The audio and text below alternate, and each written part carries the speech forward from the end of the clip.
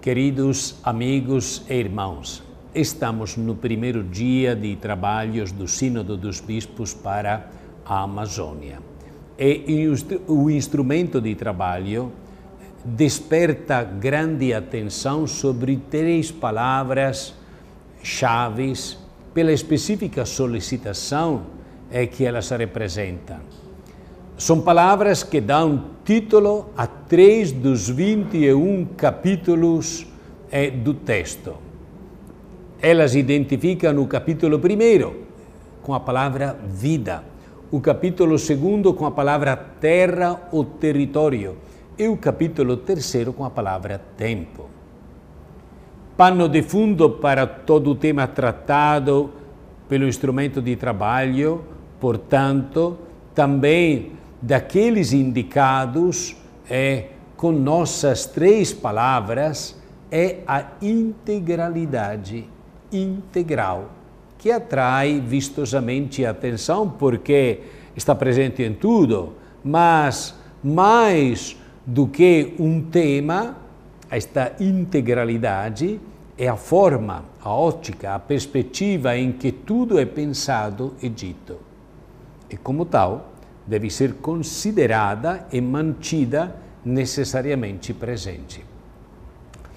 Entre as palavras-chave, a palavra matriz é vida, também é modulada como bem viver, uma expressão bela e nova, usada dez vezes pelo instrumento de trabalho. Esta palavra decisiva é no, no instrumento que vai é, ajudando os nossos trabalhos. A boa vida do Evangelho, da qual fala Jesus.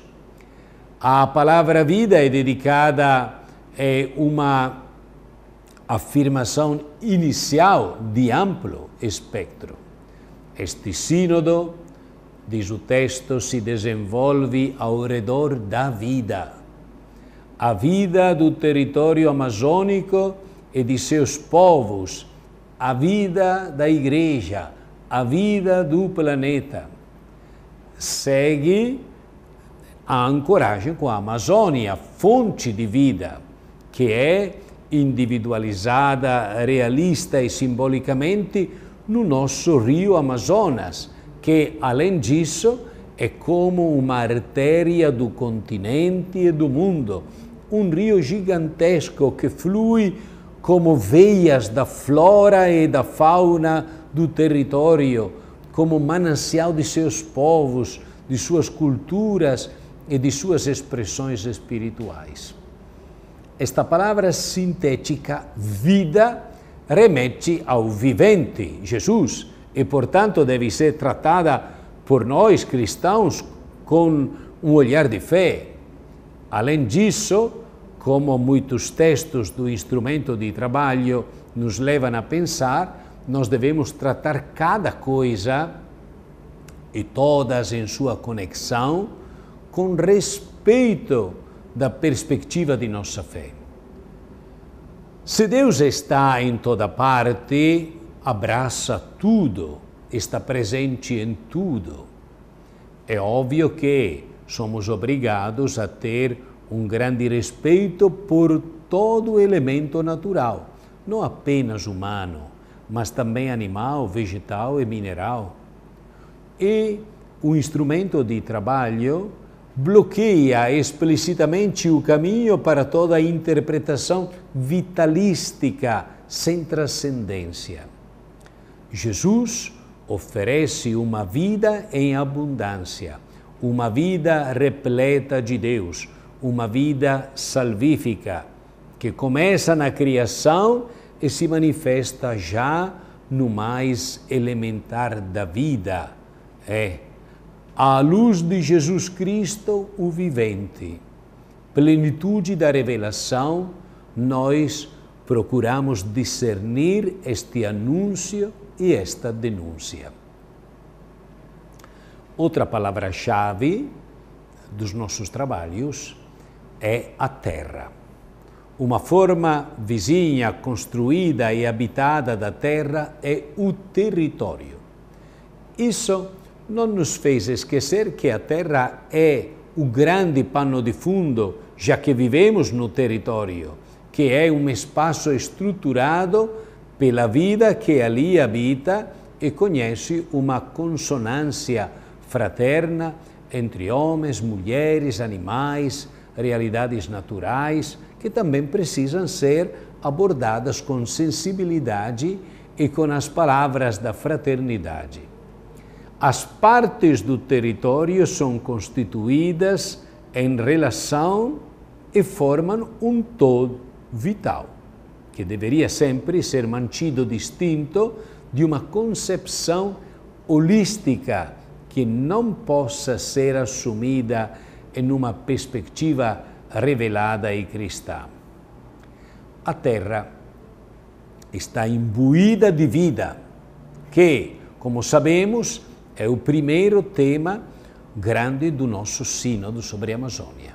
A Terra como realidade próxima, é o território que, a partir eh, do nosso instrumento de trabalho, não é apresentado como um simples espaço ou como uma grande coisa física.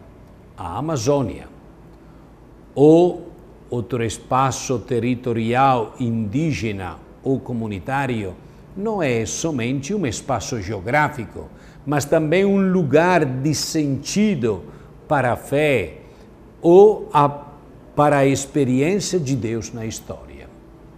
O território é um lugar teológico, a partir do qual se vive a fé, mas é também fonte peculiar de revelação de Deus. Pode-se dizer que o território é uma realidade material, simbólico espiritual.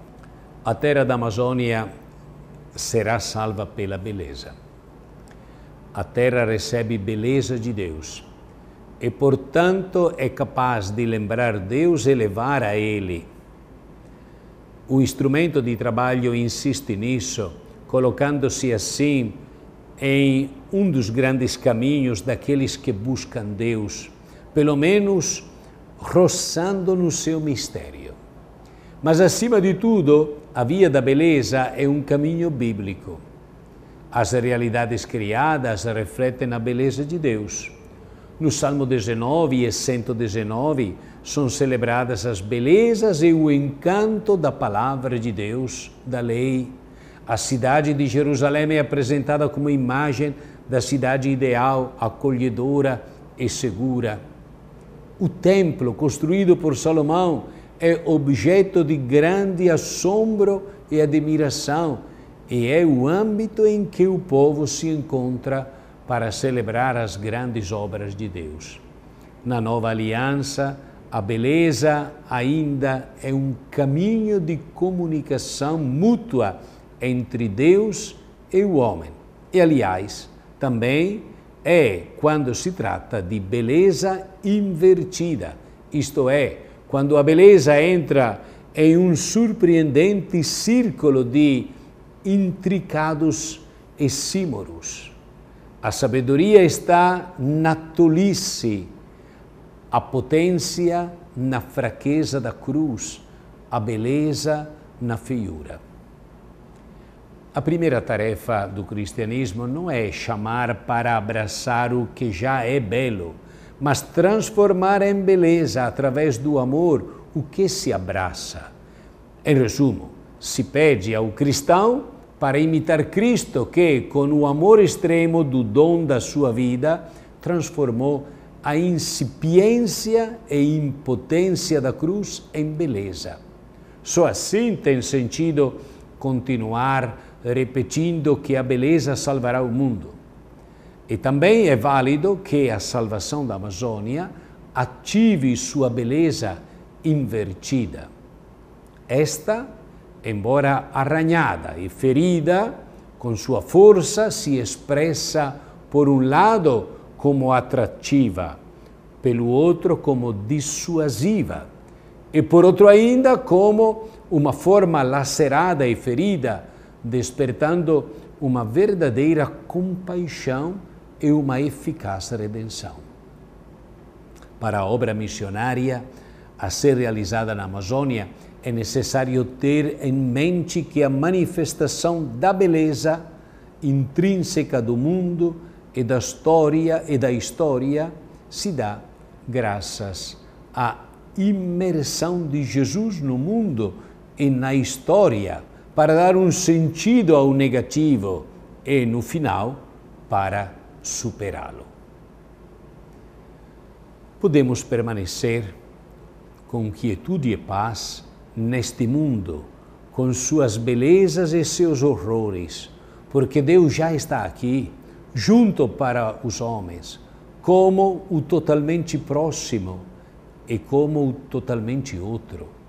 Ele nos espera em todas as suas criaturas e fala conosco através delas, sem nunca se confundir com elas e sem jamais pensar que a terra ou a história o contém é a desfiguração e destruição do território amazônico. Esses comportamentos destrutivos ocorrem porque as coisas não são vistas. A presença de Deus e a presença de Deus nelas não é percebida. Então, como reagir diante disto? Por um lado, será necessário indignar-se, não de modo violento, mas sim de maneira firme e profética. A tarefa dos cristãos e da Igreja é educar no sentido do mistério e da presença de Deus, não apenas nos fatos da história, mas também entre as muitas e diferentes coisas da criação que, em conexão, formam o território dos homens. Deus é onipresente. Mas ele não é igualado à natureza, ele não se identifica com o mundo. Deus é onipresente, mas com sua presença ele não esmaga o homem a ponto de tirar-lhe o fôlego. Deus não oprime os homens com sua onipresença, mas com ela os envolve, propondo-se a eles como um lugar espaçoso, para que os homens possam se mover livremente em todas as direções, permanecendo, porém, protegidos pelas mãos fortes e braços estendidos de Deus. Continuemos a rezar pelo Sínodo dos Bispos, invoquemos sobre ele o dom do Espírito Santo. Deus abençoe a todos em nome do Pai, e do Filho e do Espírito Santo. Amém.